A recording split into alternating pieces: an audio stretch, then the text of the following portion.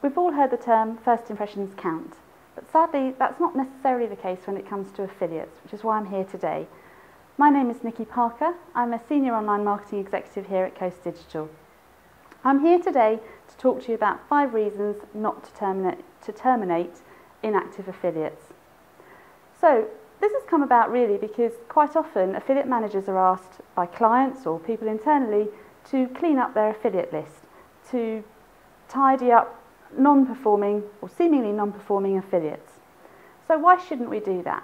First of all, they're free. Affiliates that aren't apparently performing or converting to sale are not actually costing you anything. Affiliates are done on a cost per acquisition basis, so you're only paying when they actually convert to sale. Secondly, brand awareness. Affiliates are a form of free brand awareness for you, so whilst they are converting to sale. There's obviously brand awareness there with, with a sale at the end of it.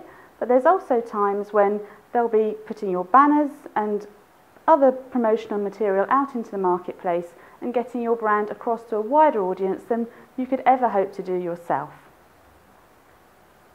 Thirdly, many affiliates could just be starting out. It takes time to build up either a website or a profile, so many affiliates will start to uh, recruit people onto the program before they're actually ready to go out to the wider public. These people would, would appear to be not performing and not producing anything for you, but it's early days and the sooner you get onto their program, you could well be ahead of another competitor of yours getting onto their program. My fourth point is that pretty much following on from the third one, people that aren't actually appearing to be your, your top performers now could be top performers in the future we all had to start somewhere. We know that the likes of the Quidcos and the top cashbacks of this world are superstars in the terms of affiliate revenue generators at the moment, and they would have no doubt started somewhere as well and soon worked their way up.